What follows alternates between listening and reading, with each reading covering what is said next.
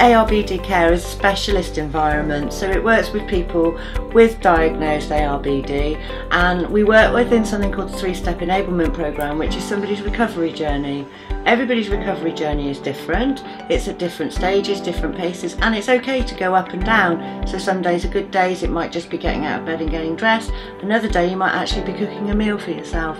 So, the Three Step Enablement Programme is a programme that we work within um, where we review regularly how somebody is doing and actually support them to gain the independent skills they need to move on in their journey.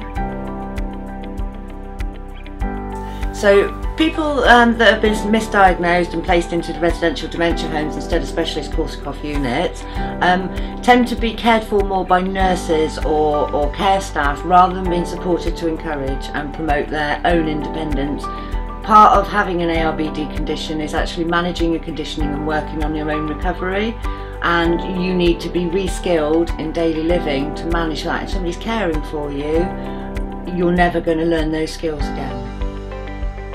When we have um, a referral in from a social worker or a hospital discharge team or a commissioner within services or even GP or private, we um, discuss with them their needs, then we arrange to meet the proposed resident in their own home or wherever that may be across the UK. We're more than happy to travel to those environments or we ask the people to come to our environment, whatever works best for that person at that time. We must um, talk to them about whether we can meet their needs or not. We discuss what, what their goals are in the future. We also have to ensure that that person is detoxed from any drugs or alcohol to ensure that we can give them the correct support that they need throughout the three-step enablement programme. When somebody's moved into uh, one of our ARBD homes, we'll work with them over the first two weeks just to gain their own bearings within the home, get them to meet the other residents, learn the environment. It's a very big daunting place for people moving into a new environment.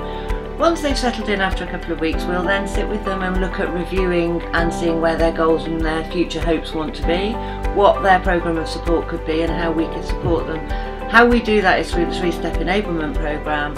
We will work with that person on their daily living skills, their social skills, whether they want to gain employment, whatever that may want to be through that programme, we will continually review and assess at every time a goal is reached, and fees will be reduced based on how that person is being supported within the home.